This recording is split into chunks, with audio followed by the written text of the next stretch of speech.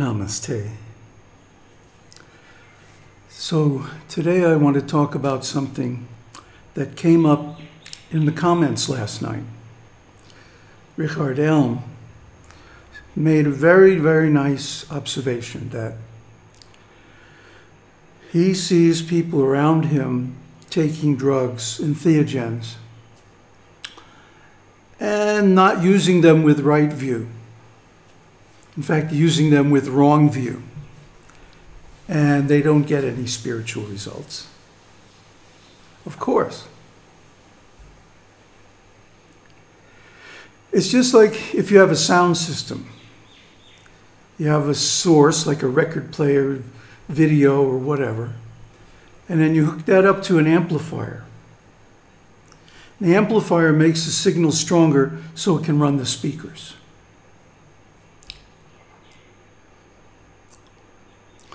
So what comes out of the speakers is not the fault of the amplifier.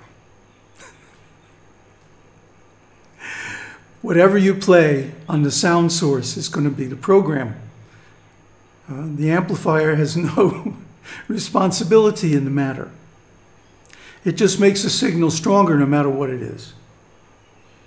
Similarly, entheogens are amplifiers. They amplify certain brain processes and suppress others. Each one is different. Each one is only a tool, an amplifier. So it depends on what you use it for, whether you get any spiritual results or not.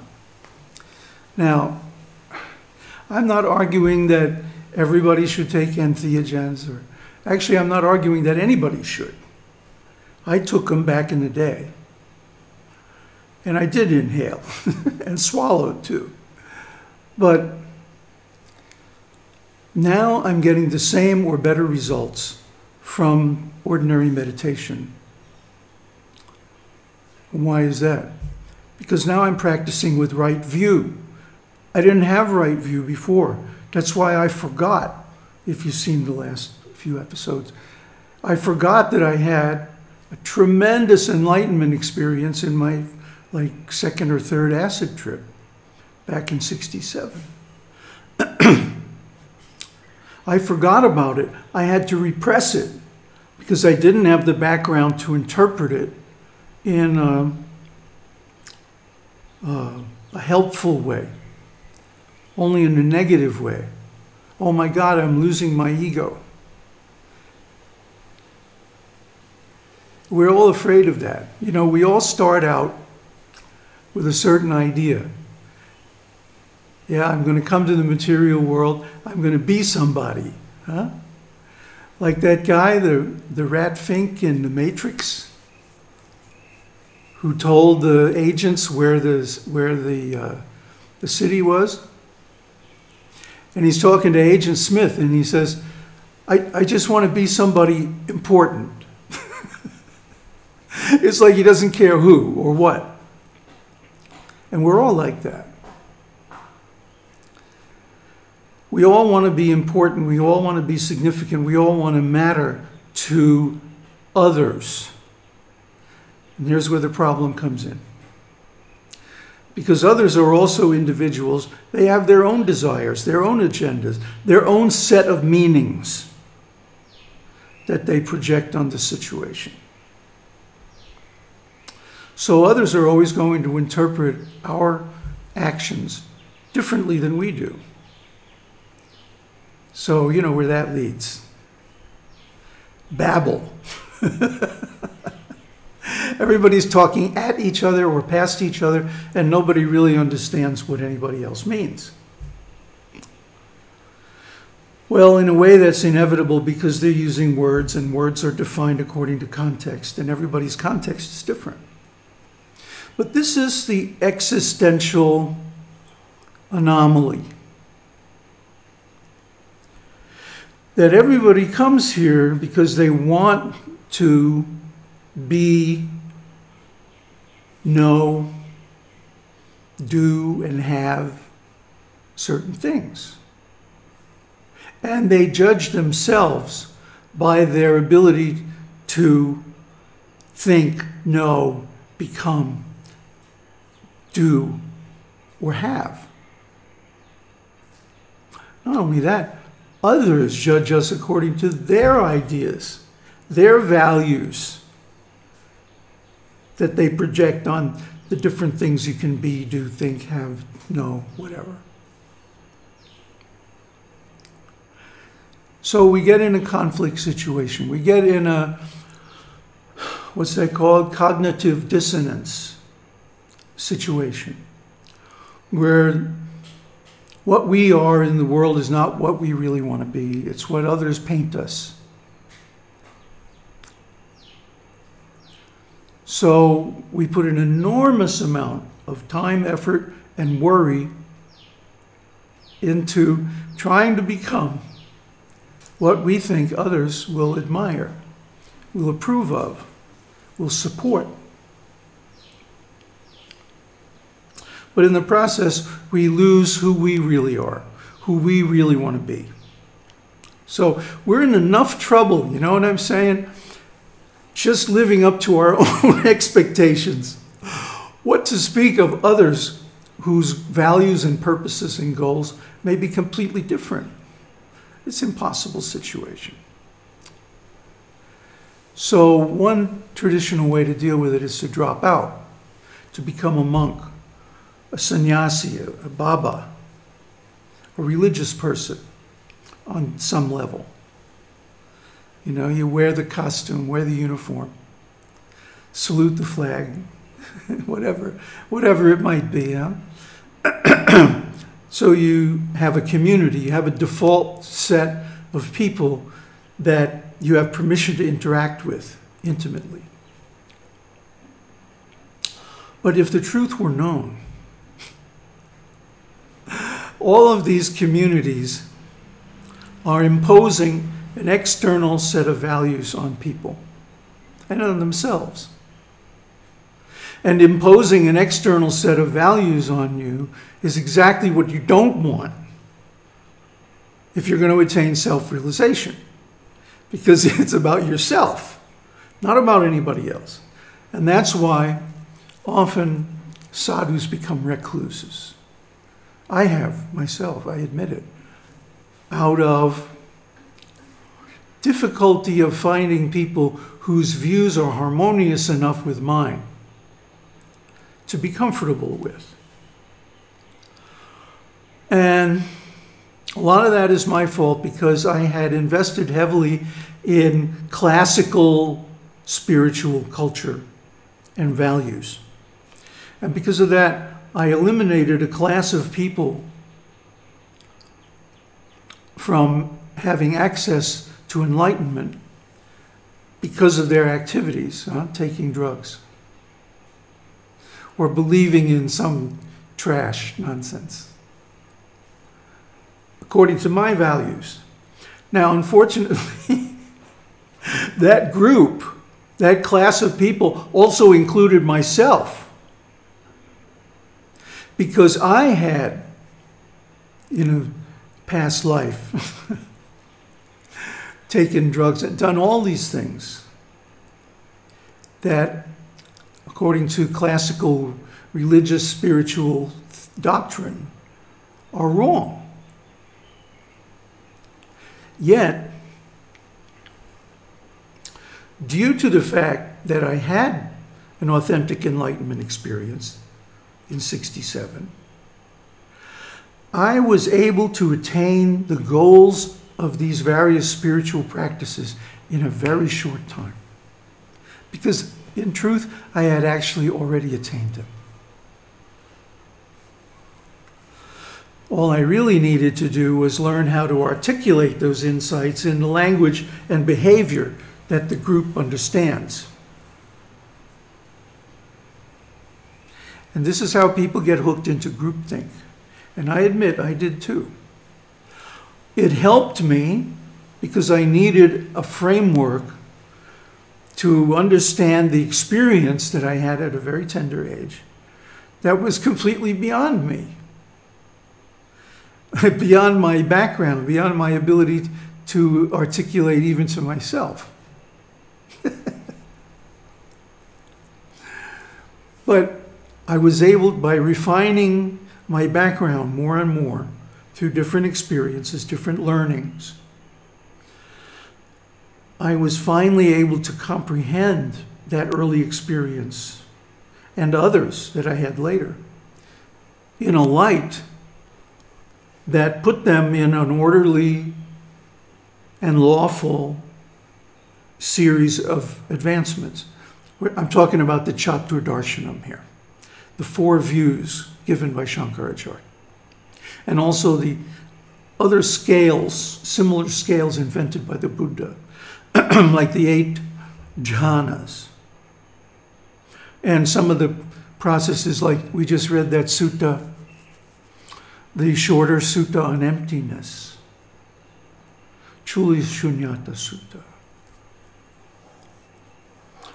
And that is also a graded series of experiences, more or less in parallel with the eight jhanas. That also brings you to enlightenment. See, there's no one door. There's 86,000 doors, according to the Buddha. I don't think we've explored but a small subset of those, even with all the alternative optional processes. That sometimes more or less accidentally give results. See, because of confirmation bias, we want to say that any process that gives results sometimes is a good thing and is something you should learn and do. But statistically, any particular process only works for a limited subset of people who are predisposed in that way. It has to be like this because any any inflexible dogmatic theory is going to have edge cases and also cases that are completely outside of its domain, its ontological domain. So there's always going to be this cognitive dissonance when people show up who, for example, claim to have certain insights related to enlightenment, but have not followed any of the approved uh, socially structured processes and, and phenomena and symptoms and vocabulary that's expected. Consequently, none of these organizations built around these doctrines can recognize a person who attained enlightenment spontaneously, no matter how or in what condition they attained it. Some good examples. Da Free John attained spontaneously while sitting in the Kalima temple of the uh, SRF, I think it was, in Hollywood, West Hollywood, back when it was still like Beverly Hills. And because of that, then he founded a whole organization. But he never recognized any of the people in his organization as being enlightened, at least to my knowledge. Let me know if I'm wrong. He never recognized any of his followers. In fact, he used to almost daily berate them for being such assholes that they couldn't attain enlightenment, even, with even by hanging around him. Great, huh? So every sectarian religion, no matter how liberal its views, will always have limits and because its values are imposed from the outside, it actually, in a way, discourages or it discourages full self realization, right? It may facilitate partial self realization, and for that matter, they're valuable. But a person like Ramana Maharshi, who attained spontaneously at 16 years old, or a person who, like myself, had a profound insight at an early age in a drug trip.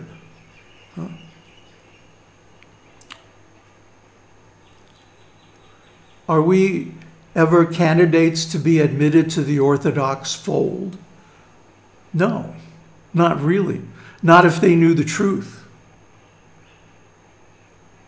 about the things that we had done and what we claim to have gotten from it. So, they lose out on a whole category of people.